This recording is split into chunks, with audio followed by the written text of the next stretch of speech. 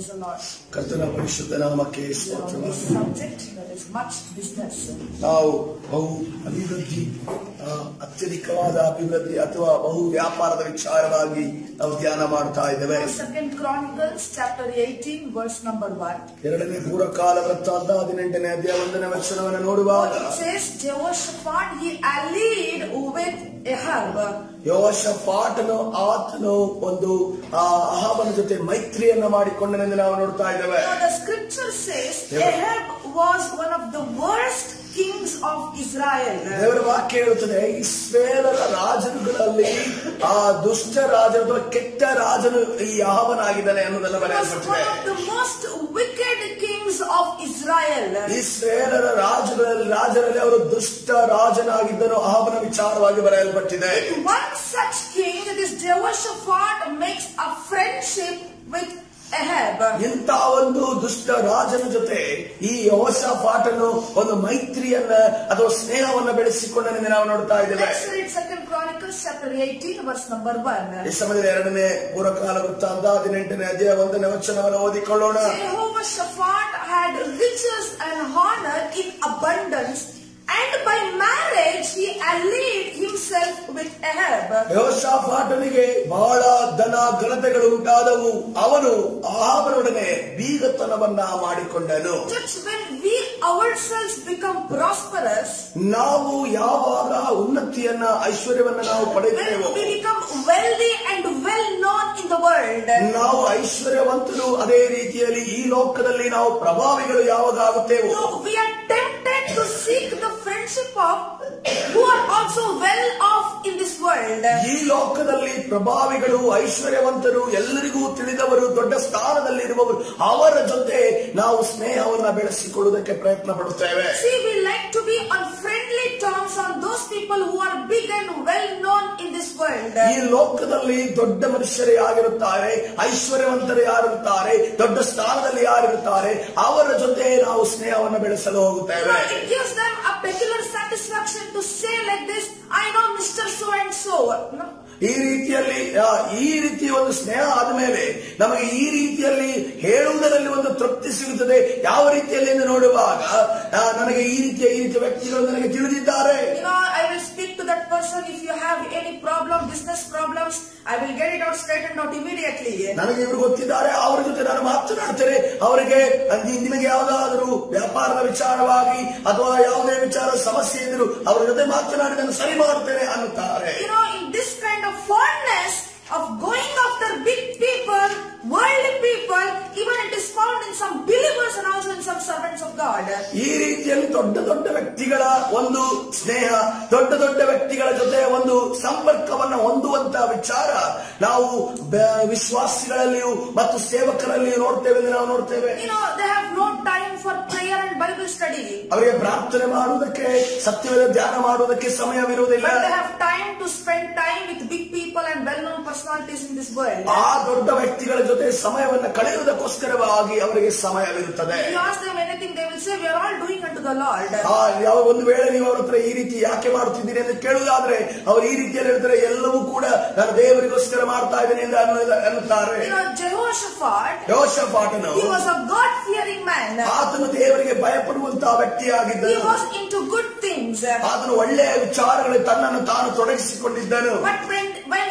Prosperous well they ಯಾವಾಗ ಆತನು ಉನ್ನತಿಯನ್ನ ಐಶ್ವರ್ಯತನವನ್ನ ಅದೇ ರೀತಿಯಲ್ಲಿ ಪ್ರಭಾವವಾದ ವ್ಯಕ್ತಿ ಆದನು friendship friendship with the worst king, worst person that is Ahab. ಆತನು ಕೆಟ್ಟ ಮತ್ತು ದುಷ್ಟ ರಾಜನ ಜೊತೆ ಒಂದು ಸಂಬಂಧವನ್ನ ಬೆಳೆಸಿಕೊಂಡನು ಮತ್ತು ಸ್ನೇಹವನ್ನು ಮಾಡಿಕೊಂಡನು ಆ ಮನುಷ್ಯನು ಯಾರು ಎಂದು ನೋಡುವಾಗ ಅಹಾಬನಾಗಿದ್ದಾನೆ Since you are a God-fearing man, ನೀವು ದೇವರಿಗೆ ಭಯಪಡುವಂತ you ವ್ಯಕ್ತಿಗಳಾಗಿದ್ದೀರಿ are a good person, always praying.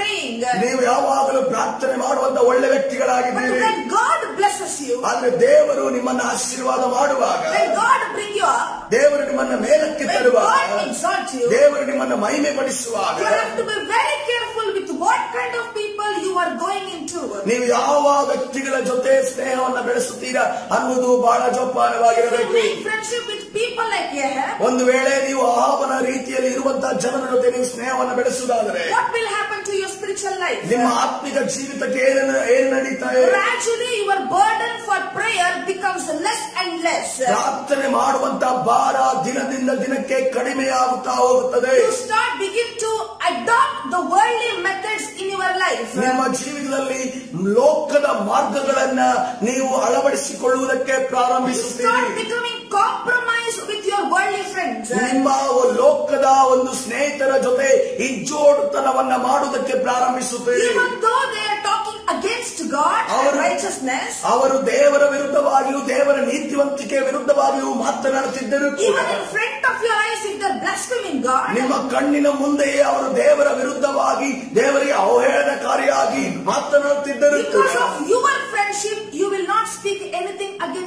ನಿಮ್ಮ ಸ್ನೇಹದ ವಿಚಾರ ನಿಮಿತ್ತವಾಗಿ ನೀವು ಅವರ ವಿರುದ್ಧವಾಗಿ ಅಥವಾ ಅವರನ್ನು ಎಚ್ಚರಿಸುವುದಾಗಲಿ ಗದರಿಸುವುದಾಗಲಿ ನೀವು ಮಾಡುವುದಕ್ಕೆ ಹೋಗುವುದಿಲ್ಲ. ಇದು ಸಮಸ್ಯೆ ಆಗಿದೆ. So we read in 2 Kings chapter 8, verse number 18. ನಾವು ಎರಡನೇ ಅರಸುಗಳ ಪುಸ್ತಕ ಎಂಟನೇ ಅಧ್ಯಾಯ ಹದಿನೆಂಟನೇ ವರ್ಷದಲ್ಲಿ ಈ ರೀತಿಯಲ್ಲಿ ಓದುತ್ತೇವೆ You know that Jehoshaphat's son Jehoram had married Ahab's daughter. ಆ ಆವನ ಯಶಪಾಠನ ಮಗನಾದ ಯಹೋರಾಮನು ಆದರೂ ಅವನ ಮಗಳನ್ನ ಮದುವೆಯಾದನೆಂದು ನಾವು ನೋಡ್ತೇವೆ. ಈ ಸಮಯದಲ್ಲಿ ಎರಡನೇ ಅರಸುಗಳ ಪುಸ್ತಕ ಎಂಟನೇ ಅದೇ ಹದಿನೆಂಟನೇ ವರ್ಷವನ್ನು ಓದಿಕೊಳ್ಳೋಣ. Followed the ways of the kings of Israel as the house of Ahab had done for for you married a daughter eyes of the. ಇವನು ಇವನು ಅಂದ್ರೆ ಯಹೋರಾಮನು ಆವನ ಮಗಳನ್ನು ಮದುವೆ ಮಾಡಿಕೊಂಡದ್ದರಿಂದ ಆವನ ಕುಟುಂಬದವರಾದ ಇಸ್ರೇಲ್ ರಾಜರ ಮಾರ್ಗವನ್ನು, ಇಸ್ರೇಲ್ ರಾಜರ ಮಾರ್ಗವನ್ನು ಅನುಸರಿಸಿ ಯಹೋವನ ದೃಷ್ಟಿಯಲ್ಲಿ ದ್ರೋಹಿಯಾದನು. ಯಾವಾಗಲೂ about this. ನಾನು ಯಾವಾಗ ಈ ರೀತಿಯಲ್ಲಿ ಆಲೋಚನೆ ಮಾಡ್ತಾ ಇದ್ದೀನಿ So how ಆಲೋಚನೆ ಮಾಡ್ತಾ come ಇದ್ದೆ Jehoshaphat, he was a God-fearing man, how did he give his son to get married to Ahab's daughter? ಹೇಗೆ ಯೋಷಪಾಟನು ಯೋಷಪಾಟನು ಒಬ್ಬ ದೇವರಿಗೆ ಭಯಪಡುವಂತ ವ್ಯಕ್ತಿ ಆಗಿದ್ದನು? ಈ ಯೋಷಪಾಟನು ಹೇಗೆ ಒಬ್ಬ ದೇವರ ದೇವರ ವಿರುದ್ಧವಾಗಿರುವಂತ ವ್ಯಕ್ತಿಗೆ ಅಥವಾ ಅವನ ಮಗಳಿಗೆ ತನ್ನ ಮಗನನ್ನು ಕೊಟ್ಟನು ಅನ್ನೋದನ್ನು ಆಲೋಚನೆ ಮಾಡ್ತಾರೆ at once. ಒಂದೇ ಸಾರಿ ತಕ್ಷಣವಾಗಿ ನಡೆದಂತ ಘಟನೆ ಇದಲ್ಲ Notice Ahab, he might be a crafty person. ಅವನು ಒಬ್ಬ ತಂತ್ರದಿಂದ ಯುಕ್ತಿಯಲ್ಲಿ ಯುಕ್ತಿಯಿಂದ ಪ್ರಯೋಗ ಮಾಡುವಂತ ವ್ಯಕ್ತಿ ಆಗಿರಬಹುದು He might have first gained friendship with Jehoshaphat ಮೊದಲನೇದಾಗಿ ಸ್ನೇಹವನ್ನು ಬೆಳೆಸಿರಬಹುದು. You know you might have persuaded by his to get married his daughter to Jehoshaphat sir ತದನಂತರ ಆತನನ್ನು ಮರಳುಗೊಳಿಸಿ ತನ್ನ ಮಗನ ಜೊತೆ ತನ್ನ ಮಗನ ತನ್ನ ಮಗಳ ಜೊತೆ ಯೋಶಫಾಟನ ಮಗನ ಮದುವೆ ಆಗಬೇಕು ಅನ್ನುವ ರೀತಿಯಲ್ಲಿ ಯೋಶಫಾಟನ ಮುಂದೆ ಆ ಮನವಿಯನ್ನು ವಿನಂತಿಯನ್ನು ಇಟ್ಟಿರಬಹುದು. Like this many be deceived by many other people. ಆ ಇದೇ ರೀತಿಯಲ್ಲಿ ಅನೇಕ ವಿಶ್ವಾಸಿಗಳು ಈ ರೀತಿಯಲ್ಲಿ ಇನ್ನೊಬ್ಬರು ವಿಶ್ವಾಸಿಗಳಿಂದ ಅಥವಾ ಇನ್ನೊಬ್ಬ ಕ್ರೈಸ್ತರಿಂದ ಅವರು ಆ ಮೋಸಕ್ಕೊಳಗಾಗುತ್ತಾರೆ You can read in 1 Corinthians chapter 15, verse number 33. ಆ ಮೊದಲನೇ ಕುರಿತ ಪತ್ರಿಕೆ ಹದಿನೈದನೇ ಅಧ್ಯಾಯ ಮೂವತ್ತ್ ಮೂರನೇ ವಚನವನ್ನು ನೀವು ಓದುವುದಾದರೆ The Bible says, do not be misled. Bad company corrupts good character. ಮೋಸ ಹೋಗಬೇಡಿರಿ. ದುಸ್ಸಾವಾಸವು ಸದಾಚಾರವನ್ನು ಕೆಡಿಸುತ್ತದೆ. Church we have to be careful with what kind of people we have our friendship ಸಭೆ ನಾವು ಬಹಳ ಎಚ್ಚರಿಕೆಯಿಂದ ಇರಬೇಕು ಯಾರ ಜೊತೆ ನಮ್ಮ ಒಂದು ಸ್ನೇಹವು ಇದೆ ಅನ್ನೋದನ್ನ ಬಹಳ ಎಚ್ಚರವಾಗಿರಬೇಕು. No matter how good you pray ನೀವು ಎಷ್ಟೇ ಬಲವಾಗಿ ಪ್ರಾರ್ಥನೆ ಮಾಡಿದರೂ ಕೂಡ doesn't doesn't God fearing person you are ನೀವು ಎಷ್ಟೇ ದೇವರಿಗೆ ಭಯಪಡುವಂತ ವ್ಯಕ್ತಿ ಆದರೂ ಕೂಡ ಗಾಡ್ ಫಿಯರಿಂಗ್ ಮ್ಯಾನ್ ಜೋಶಪಟ್ ನಿಧಿ ನೋಡ್ರಿ ಆತನು ದೇವರಿಗೆ ಭಯಪಡುವಂತ ವ್ಯಕ್ತಿ ಆಗಿದ್ದಾರೆ ಯಾವಾಗ ಆತ ಜೀವಿತದಲ್ಲಿ ಒಂದು ಉನ್ನತಿ ಅಂದ್ರೆ ಐಶ್ವರ್ಯತನವಂತು. ಆತನು ಗೌರವವುಳ್ಳ ಐಶ್ವರ್ಯವುಳ್ಳ ಮನುಷ್ಯನಾದನು. Ahab. ಆತನು ಆಹಾಬನ ಜೊತೆ ತನ್ನ ಸ್ನೇಹವನ್ನು ಬೆಳೆಸಿಕೊಂಡನು. The Bible not be because bad good character ಮೊದಲನೇ ಕುರಿತ ಪತ್ರಿಕೆಯಲ್ಲಿ ಹದಿನೈದನೇ ಅಧ್ಯಾಯ ಮೂವತ್ ಮೂರನೇ ವಚನದಲ್ಲಿ ಈ ರೀತಿಯಲ್ಲಿ ಬರೆಯಲ್ಪಟ್ಟಿದೆ ಮೋಸ ಹೋಗಬೇಡ್ರಿ ಸದಾಚಾರವನ್ನು ಕೆಡಿಸುತ್ತದೆ. After this this marriage, there was a tragic fall, downfall in Jehoshaphat's life. ಈ ಯೋಷಪಾಟನ ಮಗನ ಮದುವೆ ಆಪನ ಮಗಳ ಜೊತೆ ಮದುವೆ ಆದ ಕೂಡಲೇ ಈ ಮದುವೆ ಆದ ನಂತರ ಯೋಷಪಾಟನ ಜೀವಿತದಲ್ಲಿ ಆತ್ಮಿಕತೆಯಲ್ಲಿ ಎಲ್ಲಾ ವಿಚಾರದಲ್ಲಿ ಬೀಳುವಿಕೆ ಪ್ರಾರಂಭವಾಯಿತು After all the love and zeal of Jehoshaphat towards God's word and God, there was a downfall in his ಯೋಷಫಾಟನ ಪ್ರಾರಂಭದ ದಿನದಲ್ಲಿ ಇದ್ದಂತ ಪ್ರೀತಿ ದೇವರ ಪ್ರತಿಯಾಗಿ ದೇವರ ವಾಕ್ಯದ ಪ್ರತಿಯಾಗಿ ಇದ್ದಂತ ಪ್ರೀತಿ ಮತ್ತು ವೈರಾಗ್ಯ ಈ ಮದುವೆಯ ವಿಚಾರವಾಗಿ ನಿಮಿತ್ತವಾಗಿ ಎಲ್ಲವೂ ಕೂಡ ಕೊನೆಗೊಂಡಿತ್ತೆಂದು ನಾವು. ಆತನು ನಿಜವಾದ ಸತ್ಯವಾದ ದೇವರನ್ನು ಆರಾಧನೆ ಮಾಡುತ್ತಿದ್ದ ಮಾಡುತ್ತಿದ್ದನು family, they were worshipping, the Baal was there and they were into Baal worship. ಆಹಾವನು ಮತ್ತು ಆಹಾವನ ಆ ಬಾಲ್ ದೇವತೆಯನ್ನ ಆರಾಧನೆ ಮಾಡುವ ವ್ಯಕ್ತಿಗಳಾಗಿದೆ. ಈ ಈ ಆವನ ಬಗ್ಗೆ ಆಬನ ಕುಟುಂಬದ ಬಗ್ಗೆ ಅವರ ಈ ಆರಾಧನೆ ವಿಚಾರವಾಗಿ ಎಲ್ಲವೂ ತಿಳಿದಿತ್ತು. ಅವರು ಈ ರೀತಿಯಲ್ಲಿ ಹೇಳಿರಬಹುದು. see ನೀನು ದೇವರಿಗೆ ಭಯಪಡುವಂತ ವ್ಯಕ್ತಿಯಾಗಿದ್ದಿ. ನೀನು ನನ್ನ ಮಗಳನ್ನ ಬದಲಾವಣೆ ಮಾಡ್ ಮೊದಲನೇದಾಗಿ ಆಕೆ ನಿನ್ನ ಮನೆಗೆ ಬರಲಿ. ತದನಂತರ ಯೋಷಫಾಟನೆ ನೀನು ಪ್ರಾರ್ಥನೆ ಮಾಡಿ ನಿನ್ನ ಸೊಸೆಯನ್ನ ಅಂದ್ರೆ ನನ್ನ ಮಗಳನ್ನು ನೀನು ಬದಲಾವಣೆಗೊಳಿಸಬಹುದು.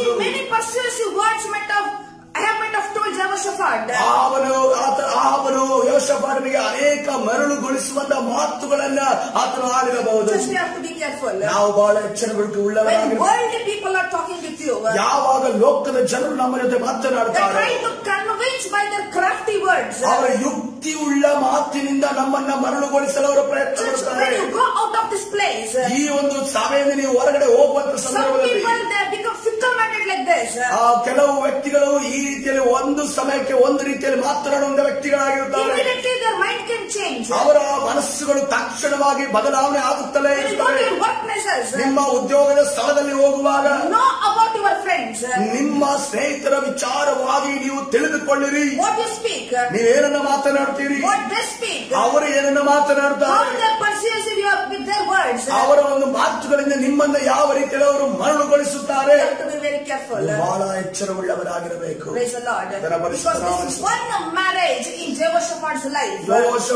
ಈ ಜೀವಿತದಲ್ಲಿ ನಡೆದಂತಹ ತನ್ನ ಮಗನ ಈ ಒಂದು ಮದುವೆ.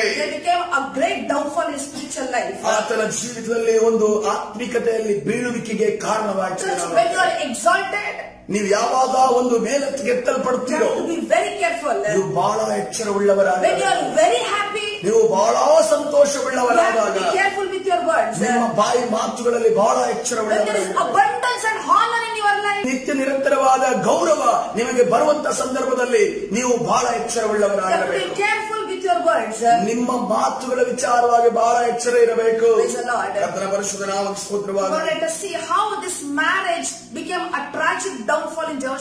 ಲೈಫ್ ಈ ಒಂದು ಮದುವೆ ಯಾವ ರೀತಿಯಲ್ಲಿ ಜೋಸೆಫಟ್ನ ಜೀವಿತದ ಬೀಳುವಿಕೆಗೆ ಕಾರಣವಾಯಿತು ಅನ್ನೋದನ್ನ ನಾವು ನೋಡ್ತೀವಿ God everyone according to first Corinthian chapter 15 verse number 33 ಆ ಇವತ್ತಿನ ಮೊದಲನೇ ಕೊರಿಂಥ ಪತ್ರಿಕೆ 15ನೇ ಅಧ್ಯಾಯ 33ನೇ ವಚನದ ಪ್ರಕಾರವಾಗಿ ದೇವರು ನಿಮ್ಮನ್ನೆಲ್ಲರನ್ನ ஆசீர்வசனே